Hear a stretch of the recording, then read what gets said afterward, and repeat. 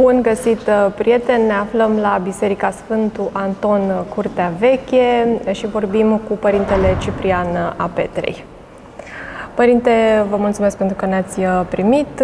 Aș vrea să vorbim despre semnificația Crăciunului, pentru că de multe ori noi o înțelegem greșit. În primul rând, bine ați venit aici, în cea mai veche biserică din București, în cea mai veche clădire din capitala României, biserica unde erau unși odinioară domnitorii țării românești. În Crăciunul, înțeles greșit, problema e că oamenii nu mai ascultă ce spune biserica, biserica înțelegând uh, întreaga comunitate, că biserica nu e doar uh, ierarhia și clerul, biserica este formată în primul rând din credincioși.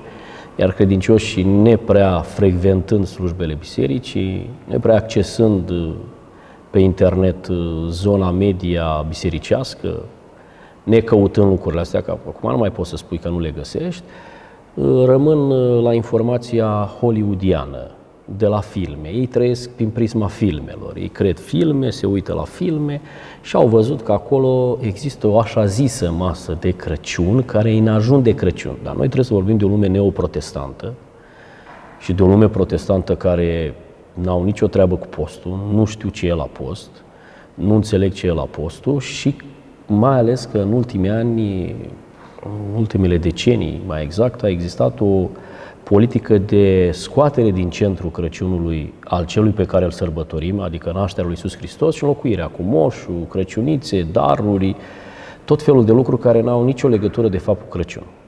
Să plecăm în primul rând de la cuvântul Crăciun. Noi îl avem din limba latină de la creaționem, adică de la creație. Deci asta e un argument că suntem popor latin. Deci Crăciunul e așa o invenție apărut așa în istorie. Și poporul nostru consideră că în ziua nașterii lui Hristos noi renaștem cu toți. Adică e o nouă creație. Creatorul, ziditorul la toate, vine în lume ca să ne rezidească pe noi, cei care am pierdut raiul și ne aducă în rai. Deja noi în peștera din Betleem vedem peștera în care va fi îngropat Hristos și vedem învierea lui Hristos. Adică în naștere deja vedem învierea. Deci din punctul ăsta de vedere, noi trebuie să știm că de Crăciun sărbătorim nașterea lui Isus Hristos. Masa de Crăciun de 2000 de ani pentru un creștin ortodox, deci nu de 2 ani, de 10 ani, de 100 de ani, de 200 de ani, este în ziua de 25 decembrie după participarea la Sfânta Liturghie în rânduiala tipiconală a bisericii noastre, se spune că aceasta trebuie făcută mai dimineață. Adică depinde, că în unele zile se termină pe la 7, 8, 9 dimineața, în altele la ora 12, cum ar fi la noi la București aici, unde vin mai greu oamenii, se trezesc mai greu și atunci se face mai târziu. Cum se pregătesc oamenii de, de Crăciun și cum sărbătorește un creștin sărbătoarea nașterii Mântuitorului? Păi toți sunt creștini prin botez, nu? Și normal ar trebui să fie așa cum am spus înainte, adică după liturghie, în ziua de Crăciun. Că mulți fură startul și în ajun de Crăciun trec deja la masa de Crăciun, dar de fapt unii dintre ei nici nu postesc, ei cam trec de la porc la porc, nu prea au uh, intermediar din punctul ăsta de vedere. Uh, problema e că aia nu are legătură cu Crăciun, ceea ce se întâmplă. Adică e un fel de pre-revelion în lumea eu, adică ei se pregătesc pentru revelion. Și a doua zi, în loc să fie la biserică, cum ar fi de ziua cuiva drag, să-i spui, știi, nu te sărbătoresc la tine acasă, te sărbătoresc la altcineva. Unii pe pârtie, alții abia își revin, că a fost noaptea grea.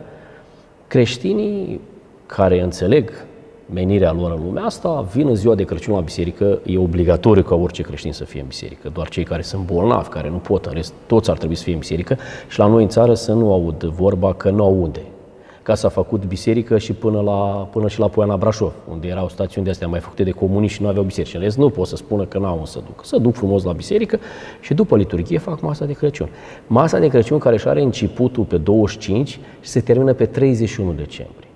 Că noi avem șapte zile praznicul nașterii Domnului. Nu e trei zile, nu e două zile. De asta când faci pre-revelion, trebuie să-ți revii a doua, a treia zi și nu pierzi lucrul ăsta.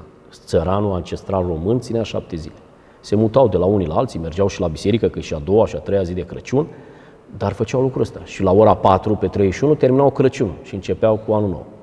Deci altă mentalitate, oamenii știau să se bucure, noi nu știm să ne bucurăm. Gata, ce Crăciun tare, am făcut o petrecere și ce ai făcut? Care e diferența între un weekend petrecut la munte și Crăciunul care l-ai petrecut? Nu, în ajut de Crăciun frumos, așa este. Te duci, ai plecat într-o pensiune, îi spui gazdei, vreau și o mâncare de post. Uh-huh. Să-ți fac o fasole frumos, dar fără cărnați, cu murături și îți ajunge.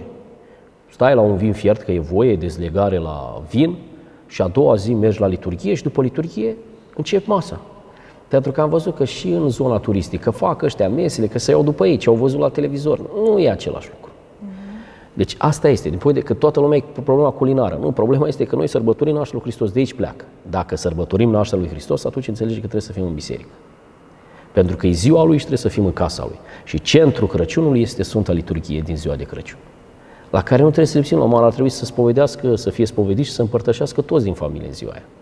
Aia ar trebui să fie centru. Aia căutau creștinii și masa e o prelungire a liturgiei.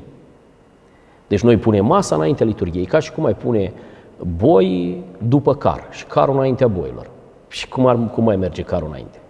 Așa e și aici. Adică în loc să faci ce e în centru și după ce ai plecat de la liturghie, ceea ce faci tu acasă, masa de Crăciun, este continuarea acestei liturghii. Dar nu uita să fii darnic, nu spunem în colinde, și să dăruiești, că sunt alții care nu au ce mânca.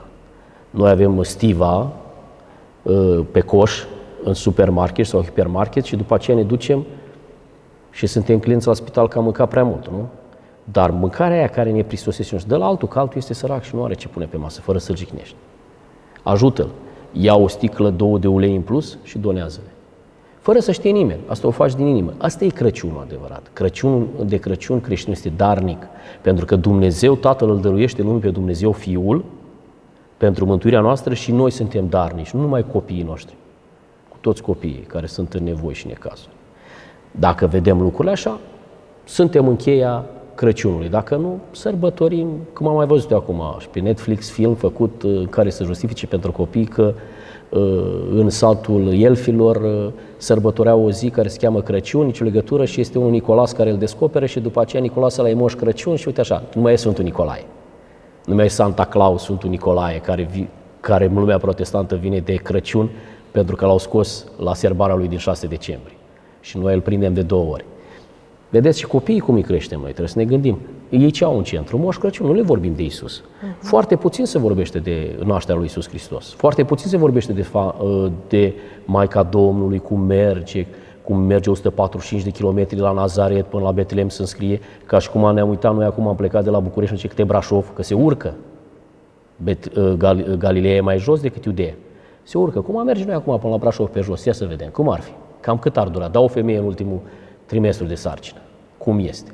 Deci asta trebuie să vedem că Iisus Hristos nu găsește loc unde să nască pământ. Se naște într-o peșteră care era folosită ca staul. Deci atât de săraci erau încât nu aveau un grajd în care să își țină animale, ci transformaseră o peșteră uh-huh. într-un staul pentru animale. Și cum dintr-o dată peștera devine biserică, staulul este Sfântul Potir, Sfântul Euharistie în care este Hristos. Tronează Hristos care vine plin de lumină. Ăsta e în centrul Crăciunului. Dacă vedem Crăciunul așa, înțelegem că noi de Crăciun sărbătorim nașterea Hristos. Dacă nu, am ținut și noi în pre-revelion, am făcut niște lucruri, bă, ce frumos a fost, dar unde e Hristos în ecuația asta? Dacă vrem să fim cu adevărat creștini, adică următorul lui Hristos, îl avem în centru pre-Hristos, care vine în lume ca pe noi să ne mântuiască. Și noi ne bucurăm că El vine ca pe noi să ne mântuiască. Ăsta este mesajul pe care trebuie să-l știm de Crăciun și mai ales mesajul îngerilor. Slavă într cei de Dumnezeu și pe pământ pace între oameni, bunăvoire. Asta a dus păstorilor și păstorii l-au transmis la toată lumea până astăzi. Mulțumesc foarte mult, și eu vă mulțumesc. părinte, dragii mei, aceasta a fost uh, discuția noastră de astăzi, să luăm aminte așadar și să aveți sărbători frumoase.